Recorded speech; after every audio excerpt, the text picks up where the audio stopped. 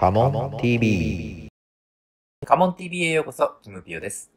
今日は全国名字ランキング第13位の佐々木さんについて名字の由来をお話ししながら、主要家紋の一つ、墨立四つ目結門を書いていきます。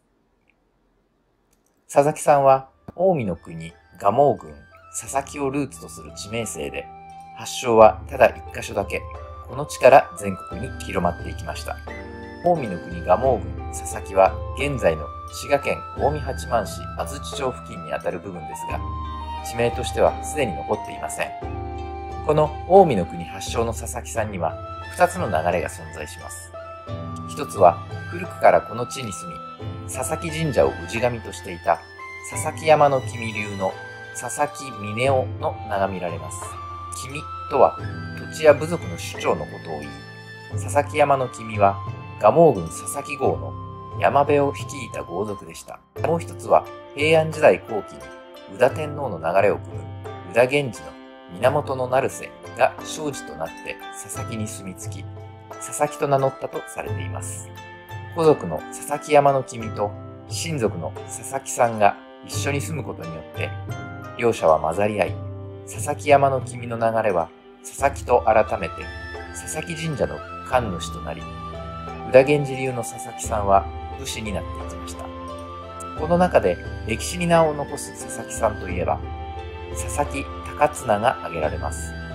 源頼朝が平家打倒の兵を挙げると、佐々木秀吉の息子5人が頼朝軍として活躍します。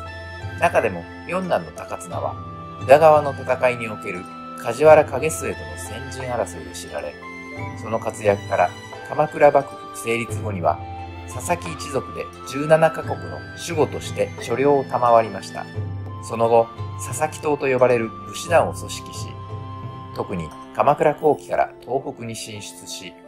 その地では幕府の有力者であることから皆に尊敬され、ゆかりやあやかりで佐々木さんを名乗る人が増えていきました。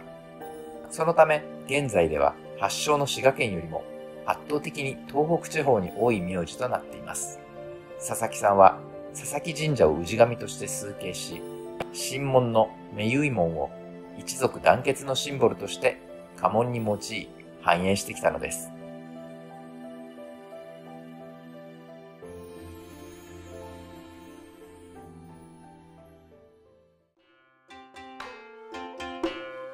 最後までご視聴ありがとうございました。このチャンネルでは様々な人物と家紋を絡めた小話をしながら元友禅絵師のキムピオが家紋を手書きしていきます。応援してくれる方ぜひチャンネル登録をお願いいたします。